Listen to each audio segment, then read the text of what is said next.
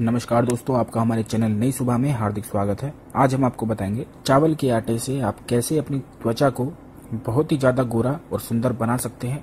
इस आसान घरेलू नुस्खे से आपकी त्वचा हमेशा चमकती रहती है और चेहरे का रंग भी निखरने लगता है। इसके साथ ही अगर आपके चेहरे पर मुहासे होते थे तो वह भी नहीं होते हैं। उम्र के साथ त्वचा की दमक और निखार कहीं खो जाता है और काफ़ी लोग उम्र से पहले ही बूढ़े नज़र आने लगते हैं। उनके चेहरे पर उम्र से पहले ही झुर्रियाँ आने लगती हैं। जिससे उनकी उम्र का पता ही नहीं लगता है और वह काफ़ी बड़े भी लगने लगते हैं। इसके साथ ही चेहरे पर मुहासे होना, आजकल के बढ़ते प्रदूषण की वजह से चेहरे को बहुत सारी मुसीबतों का सामना करना पड़ता है।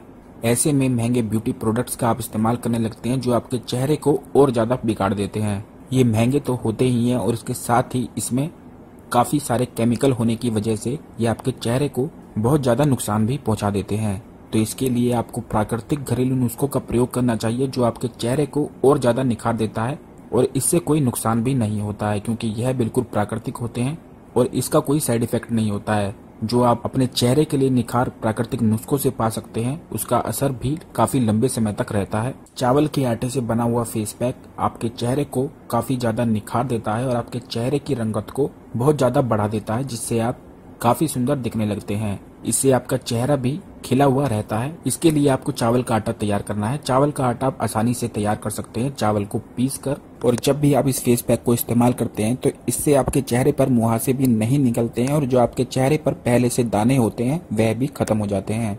यह फेस पैक आपको किस प्रकार बनाना है, इसके लिए आपको चार चीज़ों की ज़रूरत है। सबसे पहला है चार बड़े चम्मच चावल का आटा, दूसरा है तीन बड़ा चम्मच दूध, तीसरा है दो बड़े चम्मच गुलाब जल और चौथा है दो चम्मच शहद। ये चार चीज़ें आपको यह फेस पैक बनाने के लिए चाहिए और यह आपको किस प्रकार बनाना है। सबसे पहले आपको एक बर्तन में दूध लेकर उसको गर्म कर लेना है। बिल्कुल थोड़ा सा गर्म करना है उसको और उसके बाद आपको उसमें गुलाब जल और शहद मिला लेना है और उसके बाद आपको आटा थोड़ा थोड़ा कर कर मिलाना है। चावल का आटा थोड़ा थोड़ा कर कर मिलाएँ। बिल्कुल अच्छी तरह पूरे आटे को उस मिश्रण में मिक्स कर लेना है और उसके बाद आपको ये फेस पैक अपने चेहरे और गर्दन पर लगा कर रखना है और जब यह सूख जाए तो आप इसे गुनगुने पानी से धो सकते हैं।